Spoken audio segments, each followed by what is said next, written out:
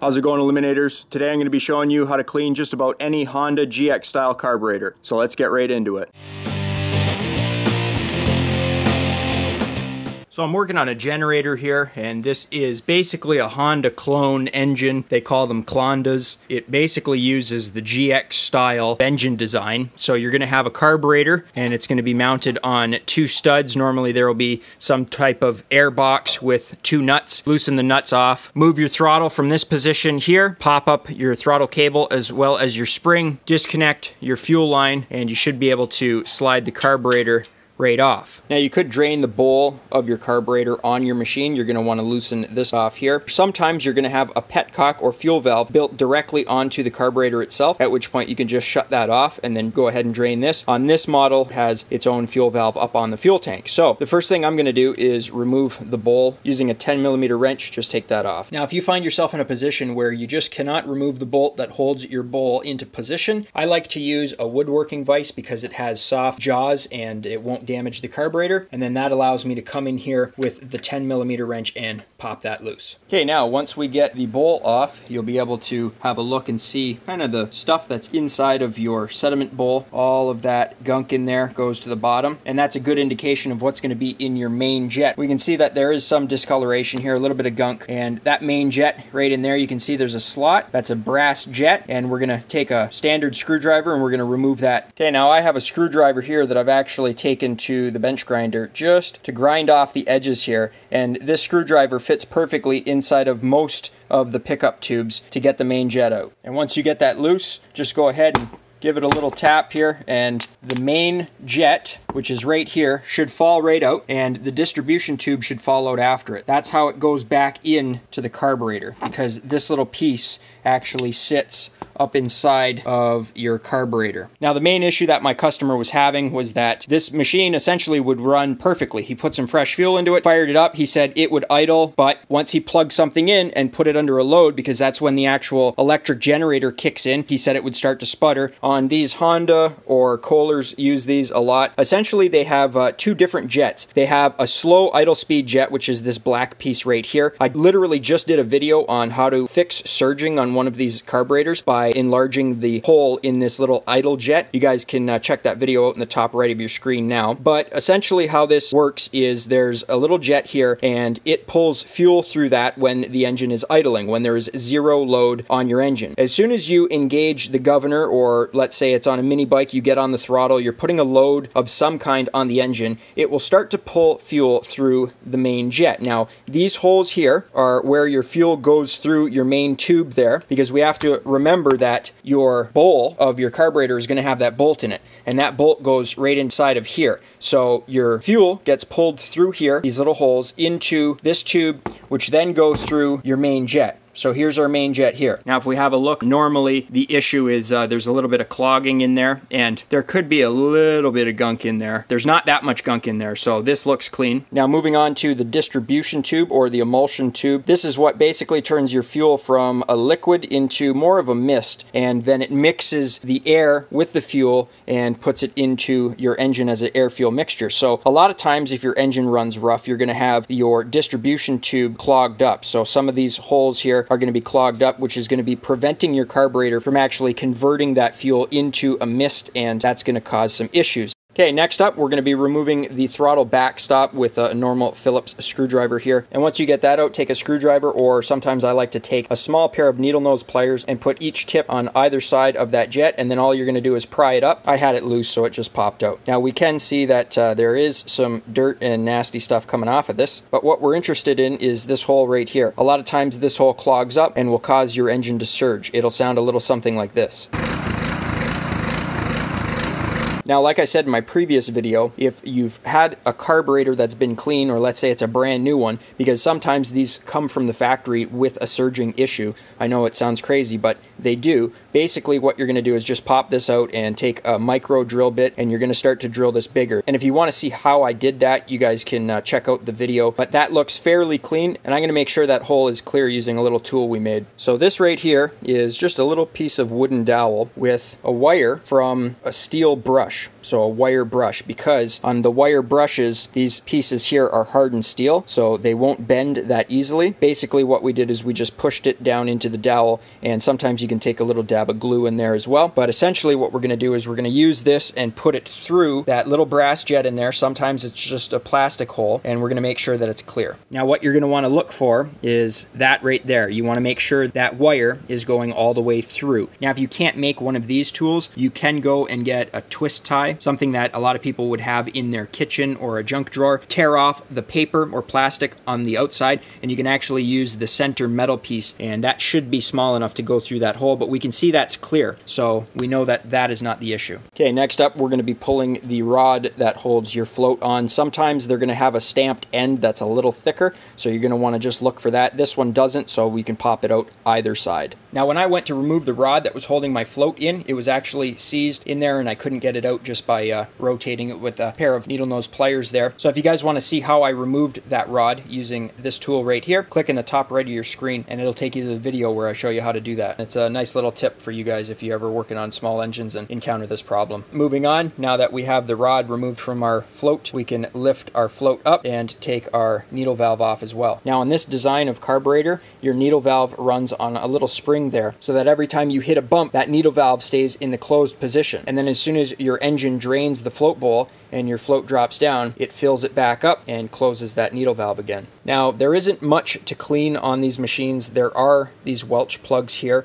and normally you don't have to remove them just to uh, get a decent carb clean on. Some of your carburetors are also going to have a little hole here, and sometimes it'll be threaded, sometimes it'll be plugged, or it just won't even be machined. But sometimes you're going to have a little screw that goes in here, and that's going to be your air fuel mixture screw. So you're going to have a tiny little hole, which this one has as well, but this is known as a fixed air fuel mixture screw. So if it does have a screw, it's going to be an adjustable type. I have one here. So a lot of times they're going to have some kind of safety or anti-tamper device, which is essentially a plastic cap that goes onto it. You can pop that off and a lot of times you'll be able to thread that in or out to change your air fuel mixture. You're just going to screw that in and count the number of turns that it goes in. And then you'll know once you thread it all the way in how many turns out it needs to get it back to the setting that it was. But essentially there's a little hole there and you guys are just going to want to back that out as much as possible and make sure that hole, which is right there, is clean and free of debris. Apart from that, you're going to have the little area here where your idle jet goes, and there's going to be a hole down there, and there's going to be a hole on this side as well. You're going to want to go in with some carburetor cleaner, and I have some Gumout small engine carb and choke cleaner. Shout out to Permatex for sending that my way. But you guys are going to want to get the carburetor as clean as possible. And because this is compressed, you can take the tip of that, put it into one of those holes, and use it to kind of force any gunk that may be in there out because you don't want any in there. You're also going to have these little pickup tubes here. Some of these pull air through, some of them pull fuel through. It all depends on what kind of carburetor it is, but you're going to want to take your tube of carburetor cleaner, stick it down in these holes, and spray them down in there as well. Now would also be a good time to go and clean your main fuel inlet, which is right here, that little brass piece, and then also spray inside where your main jet is. But if you can't get that main jet out, that means you're not going to be able to get your distribution tube out. So you could have a main jet that's clear and a distribution tube that's completely clogged up. And at which point you might have a carburetor that you think is clean, but if you can't get that out and make sure that it's absolutely clean and free of debris, then you could run into an issue where your engine doesn't run at its peak performance. Now I should note that I don't always use carburetor cleaner. I clean carburetors professionally using an ultrasonic cleaner. So once I get my carburetor disassembled like I have it here, I have a little basket. I drop my carburetor into it. I put the bowl inside of here as well. And then I have a little aluminum bowl that I took off of a scrap carburetor and I'm going to put all my tiny little jets and tubes and anything small that I want to get clean. I'm going to drop that into the bowl and drop the bowl into my basket. Now this is my six liter ultrasonic cleaner here. I'm going to take my basket and drop it into my ultrasonic cleaner. I have three liters of cool room temperature temperature water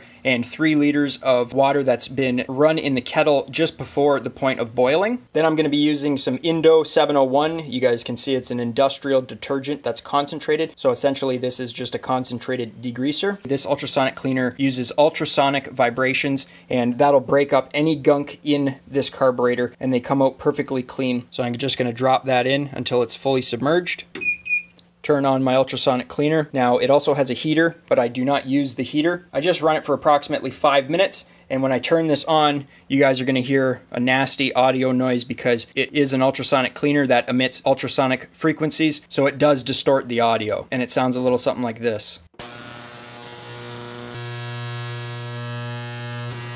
So if I cut the audio from that because it's hard on the ears, you guys can see that it's starting to clean up this carburetor and all the sediment is coming up from that carburetor. And like I said, this is the ultimate way to clean your carburetors. This one here cost me about $265 and it has paid for itself time and time again. So I'm gonna let this run and I'll bring you back when it's finished. Okay, so I got my carburetor out of the ultrasonic cleaner and it may not look like there's a lot of gunk in this fluid, but normally after you let it sit for a few hours and everything settles, it should look a little little something like this where there's all sorts of dirt and debris at the bottom of this ultrasonic cleaner. But we can see right away that uh, that ultrasonic cleaner has cleaned up all that corrosion around the uh, main pickup tube. So I'm just going to use my compressor and I'm just going to blow this dry, making sure that every single little hole on this carburetor is clean and free of debris.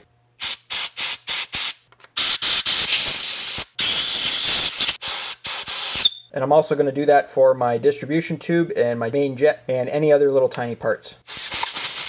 Now I can't stress enough the importance of having a clean workspace when you're putting a carburetor that's been cleaned back together. You guys are going to want to make sure that you lay down a nice clean cloth or shop towel like I have. You want to make sure that you don't get a piece of dirt that could be somewhere on your bench because you got to remember that a carburetor has all these tiny little holes. Now going back to that, I'm going to show you another step that you can do. Now what I have in front of me here is what's known as an oxyacetylene tip cleaner. Now if you're not careful, you can actually do a little bit of damage to your components such as your main jet because an oxyacetylene tip cleaner, you guys can see, has these little ridges. This can actually act as a file and you'll be taking material away from your jet which will be enlarging your hole, which will in turn richen your fuel mixture, which you don't want to do. So you want to be careful. But basically, these come in different sizes, and you can go ahead and use those different size tips to push through and make sure that all of your holes in your carburetor are clean and free of debris. This is going to be a good point to mention your needle valve right here. These on the Honda and Kohler carburetors, they have a rubber tip and what'll happen is that will actually over time deform this rubber. So when you have your fuel valve on, this won't be making a seal. So if you have a leaky carburetor when your fuel valve is open, what you'll end up having is fuel leaking past that. So you're going to want to replace that if that's the case. But because this carburetor didn't leak, it was just an issue that this machine wasn't running as smooth as my customer would like it, then I know this is okay, but I can go ahead and do an extra test on this. Now I have in front of me what's known as a carburetor pressure tester, and essentially it just tells me if that needle valve needs to be replaced or not. If you want to see more on how I pressure test carbs, I mean, it's fairly simple, but you can click on the top right. I'll link you to a video that I did on how to pressure test a carburetor. Now, if you don't have one of those carburetor pressure testers, what you can do is just go ahead and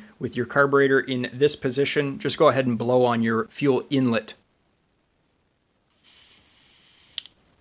so we can tell that that carburetor seals up. That's just a little trick you can do. You can go ahead and insert your distribution tube towards the inside of the carburetor. That's going to fit right in down there. Just slide that into position and then go ahead and take your main jet, put it slot side up, and we're just going to slip that right in there and tighten it up. Now be careful when you're screwing the main jet into the carburetor because you have to remember that the jet is made of brass and the carburetor is made of aluminum, so they're both soft metals. You can end up stripping the threads super easy. So again, you want to make sure that it's tight and snug, but don't over tighten it. Now once you have your float installed, you can move on to your bowl. You guys can see that this bowl here is quite pitted and we can see that someone's taken a screwdriver because it's all scratched to try to remove some of that gunk.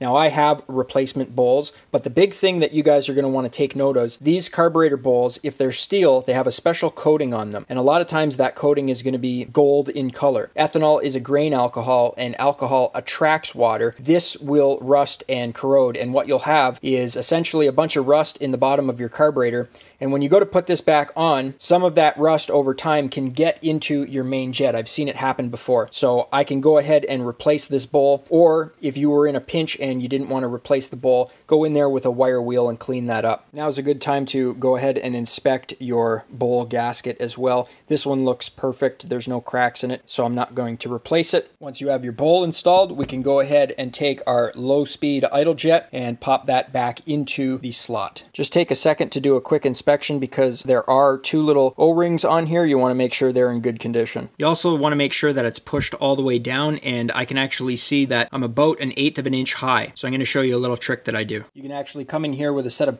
channel lock pliers. You don't want to squeeze too hard, just squeeze enough to the point where it pushes that plastic jet down until it's flush and that's all we needed. There's also a locating tab on the top, so make sure that it's lined up just like that before you push it down because you don't want to damage this. Then we can go ahead and install our throttle positioning screw. You're going to want to screw this all the way in and then unthread it approximately five and a half turns. Now you should be able to screw this in perfectly straight without any problems. If you find yourself going in on an angle, then your jet is probably mounted slightly too high. So again, you want to make sure you're flush and you have to remember that those are plastic threads going into aluminum. So make sure you don't cross thread it. What you want to do just make sure that your butterfly valve is covering half of that first hole right there. And that should be approximately five and a half turns. So again, just have it in that position. And now is a great time to make sure that your throttle butterfly valve also opens and closes without any binding. If you find anything is binding though, I would recommend taking a little bit of 3-in-1 oil and lubricating your posts up top. Now, if you do have an air fuel mixture screw on your carburetor, normally they're anywhere from one and a half to two and three quarters, but it definitely varies depending on what manufacturer makes the carburetor. But you're now ready to reinstall your carburetor back onto your machine. A push lawnmower, a riding lawnmower, a generator, maybe it's a Honda engine on a mini bike or a go-kart. So once I get this thing installed, I'll fire it up and let you guys hear what it sounds like. But that's how you guys clean a Kohler or Honda GX model carburetor. Hope you guys enjoyed it. Fired up first pull. So I'm just gonna let it run, warm up, and then we'll put it under a load.